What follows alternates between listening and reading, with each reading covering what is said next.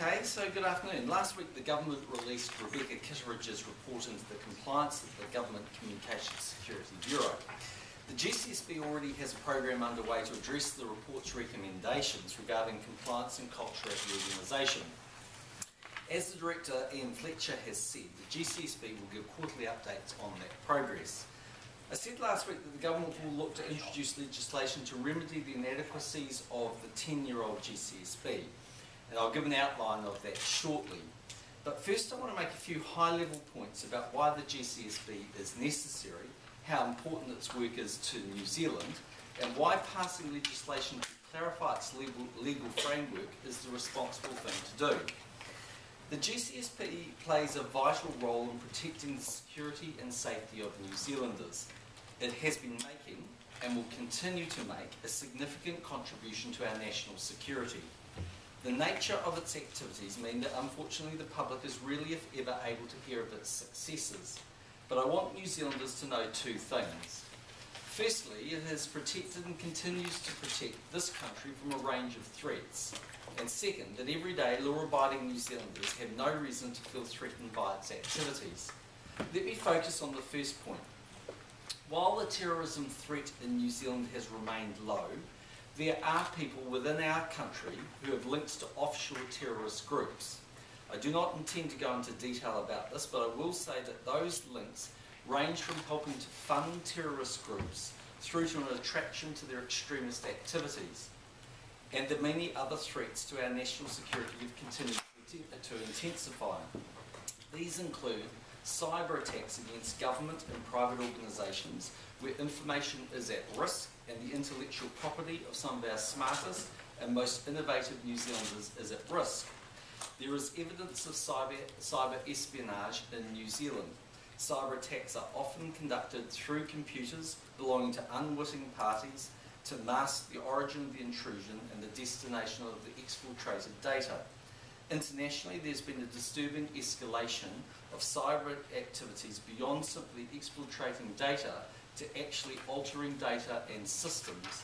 There have been covert attempts to acquire New Zealand science and technology for programs relating to weapons of mass destruction or weapons delivery systems. Other threats we face include countries conducting foreign interference and espionage. This includes attempts to recruit individuals who have access to sensitive political or military secrets. Our intelligence agents, Uh, agencies also work hard on the people smuggling threat, which is growing in size and reach, as we saw only last week. They also work in advance during major events such as the 2011 Rugby World Cup to ensure security is maintained. I cannot tell New Zealanders everything our intelligence agencies are doing or what the details of their operations are, but what I can say is this. New Zealand's national security is fundamentally important and the work that our intelligence agencies do is vital. Everyday law-abiding New Zealanders have no reason to feel threatened by the activities our intelligence agencies conduct. Rebecca uh, Kitteridge's report has identified difficulties of interpretation of the GCSB Act, and as a result of this, the GCSB has ceased providing support to agencies like the NZSIS and police as it used to do, and had done for more than a decade. It's now the responsible thing to change the legislation to make it clear that GCSB can provide that support and assistance of agencies which can lawfully do so. To do anything less would uh, to do anything less would be to leave our national security open to threat. And as Prime Minister, I'm simply not willing to do that. To do nothing would be an easy course of action politically, but it would be an irresponsible one. I'll move now on to the legislative proposals themselves, which I believe strike a balance between permitting necessary intelligence activities and the rights of New Zealanders to privacy.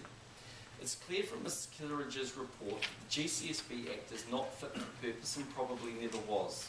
The heart of the issues resolve around Section 14 of the GCSB Act, which prohibits the GCSB from intercepting the communications of New Zealand citizens or permanent residents.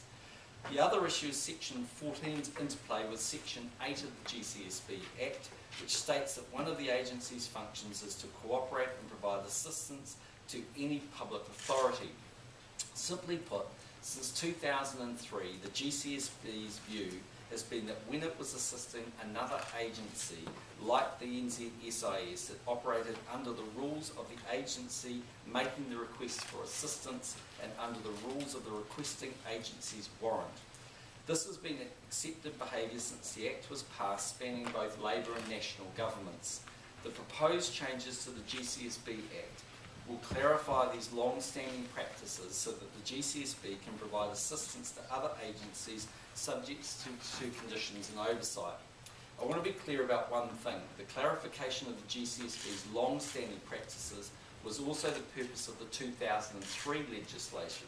Section 3 of the Act made it clear that its purpose was to, quote, to continue the GCSB and, uh, and establish it as a Department of State.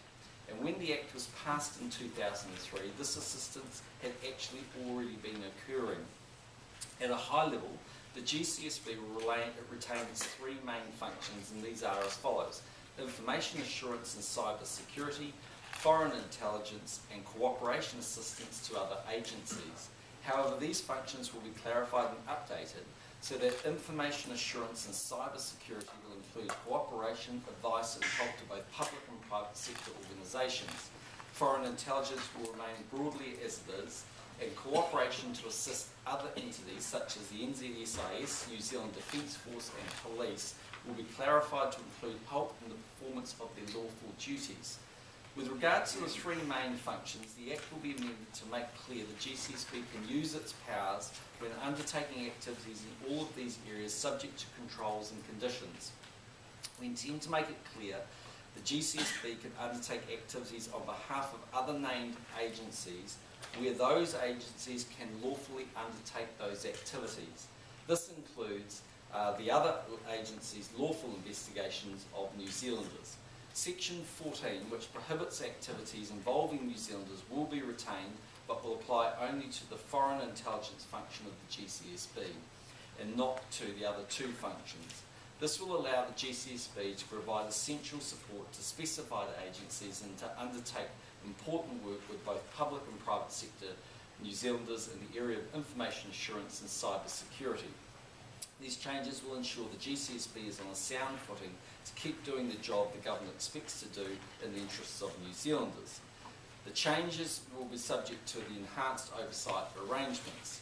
That external oversight of the New Zealand intelligence community will also be beefed up in line with the legislative changes I've broadly outlined above. A solid oversight regime will help build confidence and enhance public trust in the intelligence agencies. The GCSB review found that this country's oversight regime, while being strong, uh, could adopt some of the practices its Australian equivalent uh, has to enhance its robustness. We intend to modernise the legislation governing the Inspector General of Intelligence and Security to give that role enhanced oversight of the GCSB we are proposing to make a number of uh, changes and they are as follows. First, we intend to increase the pool of candidates who are able to perform the role of Inspector General by removing the requirement that the person be a retired High Court judge. This will broaden the range of experience and capability available to the role. For example, Australia's equivalent of is a former ombudsman. Second, we will make the Inspector General's office more proactive uh, taking it a step further from the role it currently has, which is more review focused. The office would be able to undertake its own inquiries more easily and it will be expected to specifically note publicly each year its view on whether or not the agencies it oversees are compliant with the law. We are increasing the scope of the Inspector General's active review program to include a much broader range of the agency's activities. This will have the effect of making the Inspector General's role more proactive. Third, we will increase the resourcing and staffing of the Inspector General's office and create a new role of Deputy Inspector General. Fourth, legislation will explicitly expand the Inspector General's work program, including compliance audits and greater reporting responsibilities. GCSB's own quarterly reporting processes will be tightened up. Fifth, the Inspector General's work will become more transparent through greater availability of its reports and views publicly. These changes were made by amendments to the Inspector General of Intelligence Security Act 1996. we are also proposing to make changes to the Intelligence Security Committee so it can provide uh, improved oversight and accountability of its intelligence agencies. For example, we are looking at re requiring the ISC to table its reports subject to restrictions on sensitive information in the House and then make them publicly available. In addition to the legislative proposals I've run through regarding the GCSB and oversight regime, I'd also like to flag two more things so that you're aware of them. You will be aware that a long-running review of the NZSIS, Act has been underway. I've decided to put that work on hold following Rebecca Kitteridge's report because it's clear to me that right now the focus squarely needs to be on fixing GCSB and strengthening the oversight of both intelligence agencies. We may come back to the NZSIS Act at some point in the future, but that's for another day. The second thing I'd like to flag is the Communications and Information Technology Minister, Amy Adams, will later in the week release her plans to update interception and network security legislation in the areas of telecommunications. Finally, the proposed changes to the GCSB Act and oversight regime I've announced today are comprehensive and I appreciate there's a lot of information for you to digest.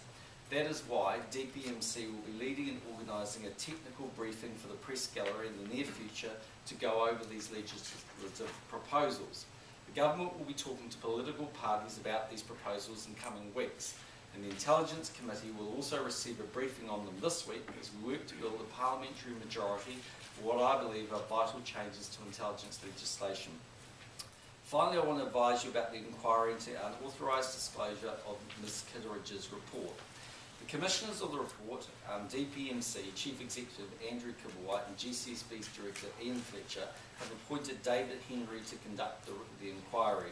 Mr Henry is a former senior public servant who's held a number of positions including um, Commissioner of Inland Revenue, Chief Electoral Officer, Electoral Commissioner and Commissioner on the Pike River uh, Royal Commission. He's also carried out a number of reviews and assignments in the public and private sector. We expect Mr Henry will present his findings by the end of May. As you know, I've just returned from a successful visit to China, where I was accompanied by a large delegation of business, education and cultural leaders. The government places a great deal of importance on our relationship with China, and actually, actually that is reciprocated on the Chinese side as well. I met with President Xi and Premier Li on, and two of the vice um, premiers of China uh, they were very warm and productive meetings, and China was very keen to push our relationship forward even more, building on our FTA, which has seen exports to China treble in only four years. Just turning for a moment to Mighty River Power, from now until Friday, May the 3rd, New Zealanders can apply to buy shares in Mighty River Power, whether or not they pre-registered. The minimum application is 1,000 New Zealand dollars, and all New Zealanders are guaranteed to receive the first $2,000 worth that they apply for. You'll see an advertising campaign start this evening so that people who want to buy shares know how to go about it. Also, now that the offer is open, the advertising campaign can give a bit more information about the company. For example, it generates 90% of its electricity from renewable hydro and geothermal resources and powers nearly one in five of New Zealand's homes and businesses. Under securities law, we are prevented from giving information about the levels of applications received during the offer period. We've been warned that providing application numbers risks being seen as speculating on demand or trying to talk up demand. We are taking the same approach to statistics like website visits or call centre activities. It won't be until after the offer period has finished that we're able to disclose the number of applicants. Earlier today, Business and Building and Construction Minister Maurice Williamson announced the governments had made further progress on responding to the Canterbury Earthquakes Royal Commission's final report. This means the government has now accepted in full or in principle 170 of the total 189 recommendations in the final report. Of the outstanding 19 recommendations, 13 are still being dealt with in the review of the earthquake-prone buildings policy and six have been noted. The government will announce a new policy for dealing with earthquake-prone buildings later this year once the more than 500 submissions lodged during the consultation process have been analysed and considered. In terms of the House this week, the government intends to progress the Crown Minerals uh, Bill and the Legal Assistance Amendment Bill and the Immigration Amendment Bill. Wednesday is a Members' Day, and on Thursday we're having extended hours for Ngāti Whātua o Kaipara Claims Settlement Bill and the Waitaha um, settlement bill in the morning, followed by the Pacific issues debate in the afternoon. Tomorrow I'm delivering a pre-budget speech in Wellington, and on Thursday, and on Wednesday too, uh, sorry, tomorrow, tomorrow I'm delivering a pre-budget speech in Wellington, and on Wednesday, uh, another one as well. On Thursday I'll be here in the morning before going to Christchurch, and I'll be there on Friday. Prime Minister, will the um, GCSB be allowed to continue spying on New Zealanders until the legislation is um, passed? Um, well, in terms of providing agency support, um, that has ceased um, in the interim uh, because that was the prudent course of action that we took. So So, that- that will effectively, continue- no that's not happening at the moment. That will continue through to the, The, the, the period of hiatus that we have at the moment will continue until the legislation passes. What is it that the GCSB does to the SAS that the SAS can't do themselves? Oh, I'm not going to go through all of the exact details of how that works, um, but essentially they provide um, support for them, and if that was to be undertaken by the SIS, they could do that, as indeed could police and defence, but it would require duplication of those activities and more cost, and there's greater specialisation within NZ um, GCSB. What do Prime Minister, do about they, email do they effectively harvest the internet looking for Sorry? email addresses? Do they effectively harvest? I'm not going to go into the. the details of what they do, because I don't think that would be prudent. Can Given you that, explain more fully what exactly that the the GCSB do to the SAS? When you say provide support, what exactly does that mean? No. Yep. um, given the new skills that the Inspector General will be given, will Paul Neazor um, be asked to reapply for his job? Does he have the appropriate skills to do that? Um, look, I, he could apply, and if, if he chose to, he, he, he may well have the skills. I mean, he's been uh, had a very distinguished uh, legal background, but my understanding is he's not going to apply. And that's got nothing to do with the recent uh, issues. Um, Mr. Neazor has, has been in that job for nearly eight years, and he'd indicated to me uh, some time earlier when I'd seen him that he was intending to step down. So he has told you that he will no longer. He's not going to apply. What was it that um, Constance raised of of concerns in there? in May. Um, I, d- I can't give you the exact answer to that. I just know that you have to go and ask him that question. I just know that he was starting to look at the interaction between, as part of the review work of NZSIS, uh, he started to go and have ask the question about the interaction between NZSIS and GCSB. Was that raised by the Solicitor General? Was the issue of the legality of the SIS GCSB relationship raised by the Solicitor General? Uh, you have to go and ask him who it was raised by. I don't know. Well, Well, this, well, uh, have you have you spoken to the Solicitor General about it, or the or the Attorney General?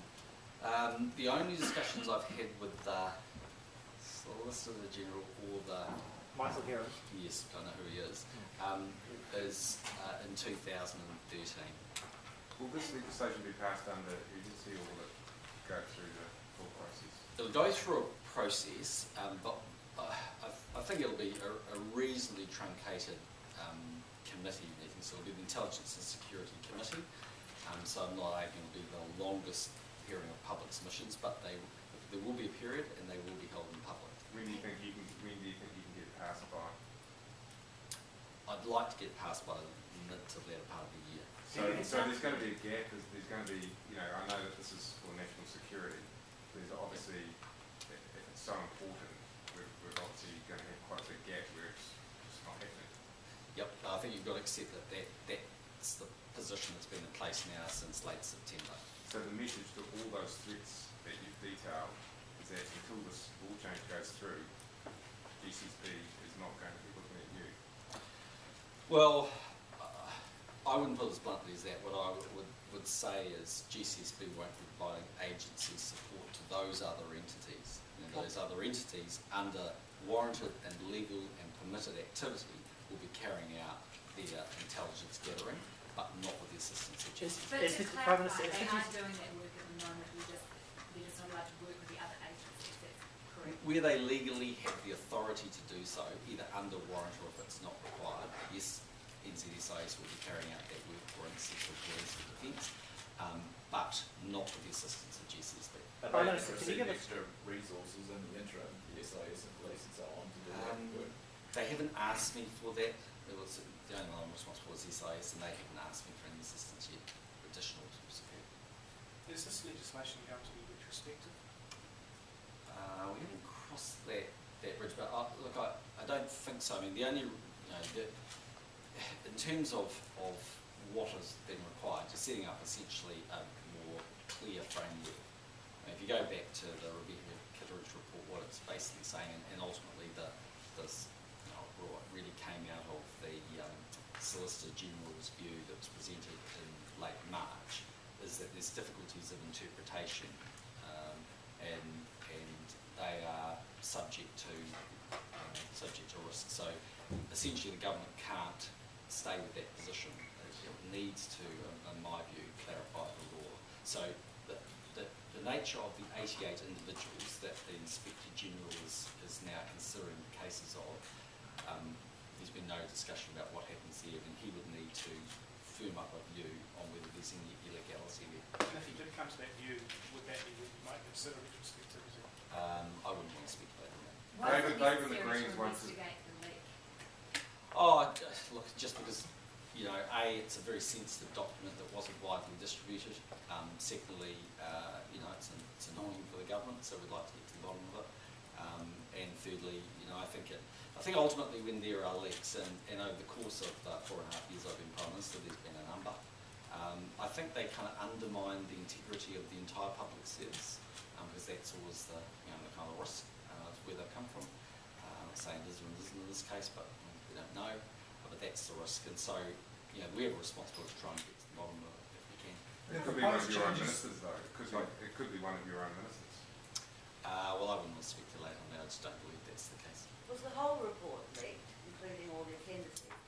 I, you'd have to ask the person in the organisation that's got it, I simply don't know. Labour and the Greens won't support this without this um, inquiry that they're asking for. What's your message to them? Well, it's, it's, uh, there's, I find it very hard to believe there's the need for a further inquiry. What there's actually the need for are the proposals in this legislation. I mean, A, we are effectively putting in law what, what Labor believed they had the authority to do when they were the government in 2003. So they went out there and said, this is the legal authority that we have. They told New Zealanders that they were, um, you know, they were complying with the law.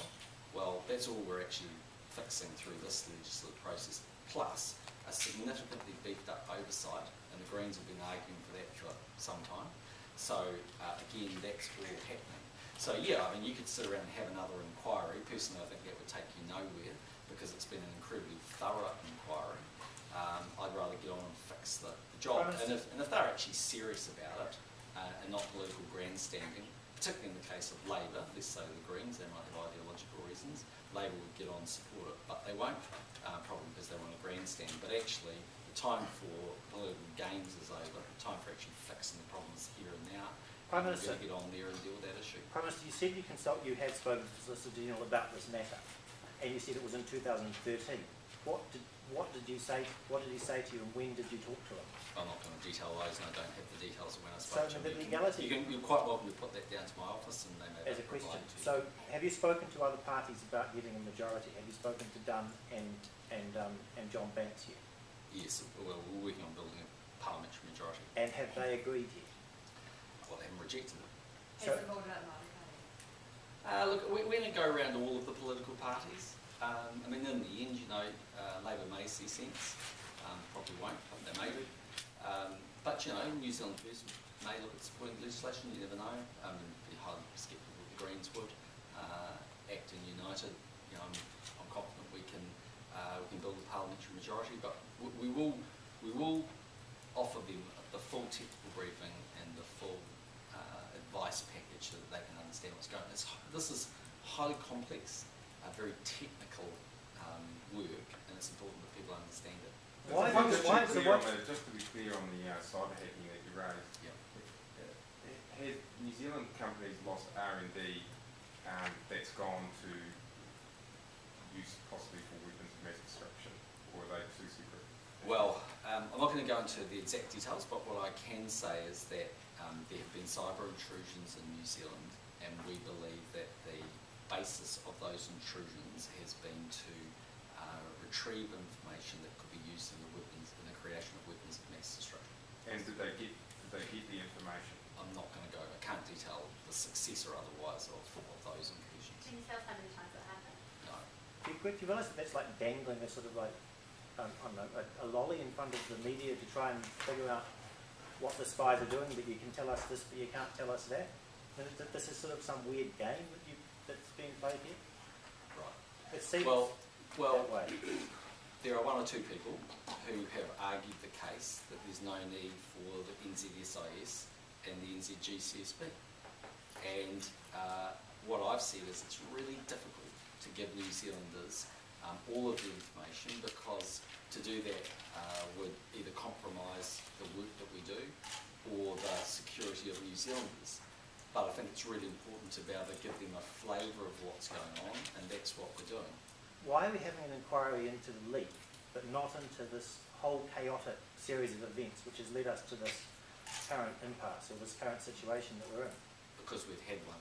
We haven't had an inquiry into Ian Fletcher's appointment, and that's, that's been ruled out by the Auditor General, but I'm pretty sure that, it's, that quite a lot of people would like an inquiry into that. It seems strange that we're not, Well, the Auditor General that's not important. The Auditor General and the um, State Services Commissioner both backed my, the appropriateness of my behaviour and the appointment. So So there's no need for an inquiry. So effectively, the country is being told, trust me and my childhood friend's brother to figure this all Well, out connection, right? behind the scenes, and and then we're all supposed to sort of like accept that that's the full level of accountability that's going to be applied. Well, we've dealt with that. Will, will the legislation make, will, will the legislation make clear that any information the GCSB um, collects in the process of, the legal process of helping the SIS, say for instance, with the police, um, will it guarantee that none of that information is then passed on to its foreign intelligence counterparts in other countries? Um, you have to wait and see um, for when we release the technical part of this on, you know, the latter part of this week. Uh, we need to go and talk to the Intelligence and Security Committee first. Wouldn't that be the basic protection in this framework then? Well, we, we can have that discussion, but we'll do that later in the week. The proposed need to say whether changes- the So be- Bernard. The proposed changes suggest that the GCSB could cooperate and help private sector organisations. Can you talk a bit more about what that could mean and whether this means the GCSB could be spying on behalf of companies? No, but what the GCSB does do, it currently does this as well, is provide um, specialist support to New Zealand companies to help them protect their data through cyber incursion. Are you able to say if the idiot um, people will be notified about whether they're potentially one of the idiot or if they request their files if they'll be told if they're not one of the idiot? Well, they should follow the advice of Marie Shroff and, and under um, the Privacy Act, go and seek their own advice. Can you give any assurances that they, their information won't be passed on to other nations? Um, look, I've just got no comment to make there. Just on Mighty River Power, Labor's um, saying that they believe that it promises to make power prices cheap for consumers. What do you think of the timing of this announcement? Oh, look, it's just ridiculous, really. I mean, these are the people who were in government for nine years. Power prices went up 72%. Um, they've got no idea how they would make changes. David Shearer probably doesn't even know the changes that um, Gerry Brownlee made when he was the minister.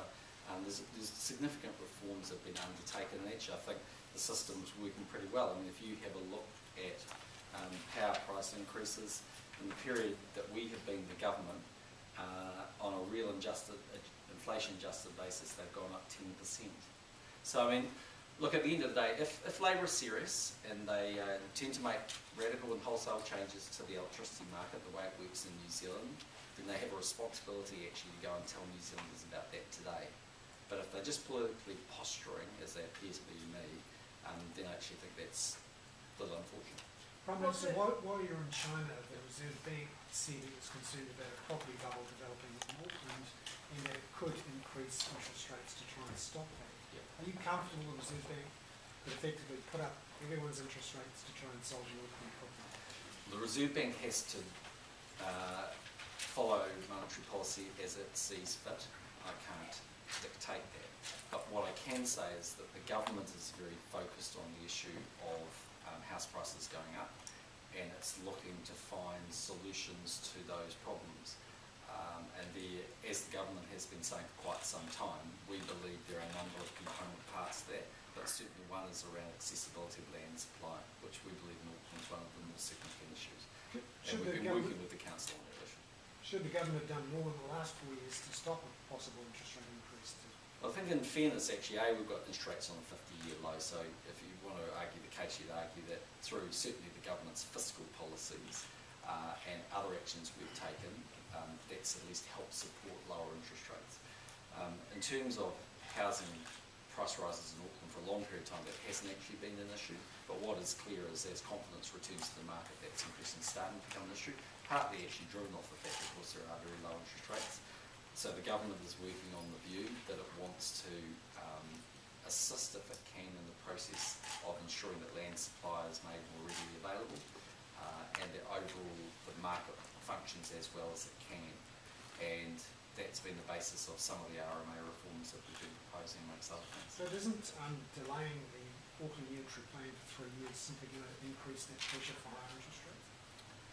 Uh, I don't believe so, no. And the reason for that is that if you look at the um, unitary plan, even if the government was to uh, basically through legislation have the plan adopted September, um, that would not um, that would not stop uh, a situation where new subdivisions and the likes uh, would be subject to uh, being notified and be subject to appeal. And so that actual process would still be a very long and slow one. This um, announcement of Labour's could ultimately mean lower dividends for micro investors. What do you think the way that, that Labour's kind of warning investors on the day that the shares go on sale? Well, Firstly, I think you know under securities legislation, everyone's got to be careful about you know what these things mean. But but if David Shearer wants to be taken seriously as a leader of a main political party and he wants to be treated with respect by the New Zealand public, he should treat them with respect. And the way to treat them with respect is not dangle political rhetoric in front of them. Get out there and tell them what you're going to do.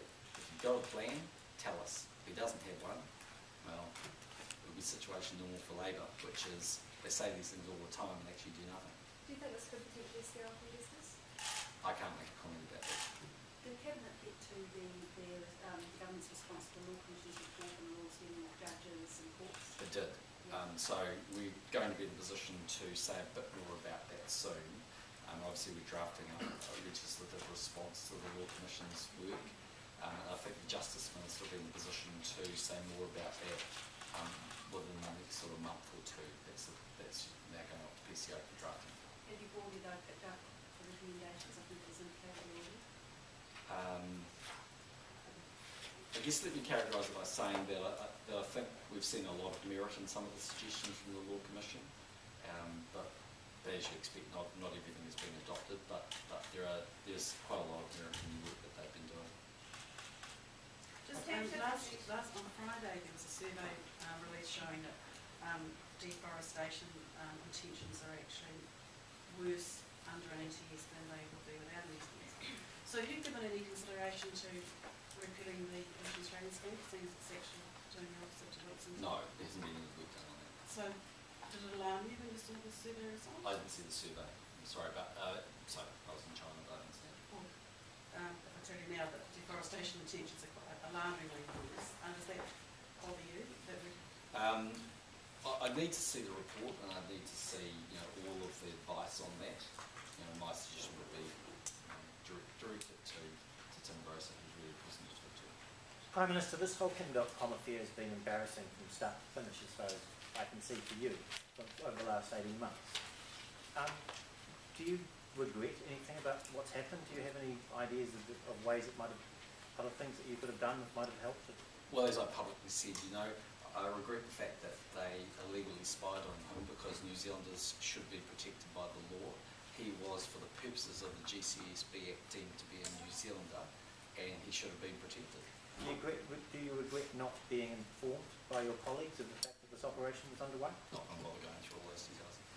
Just in general terms, what were the kinds of things with the uh, NZ SIS Act that were uh, being reviewed? Where was the, where was the Well, I'm not sure there's much point in speculating all that. I mean, the, we, we undertook a number of changes, as you'll remember, prior to the Rugby World Cup, and that dealt with a few of the issues, but there were broader issues that the agency was, was keen for us to work on. And in the fullness of time, we may come back to those issues.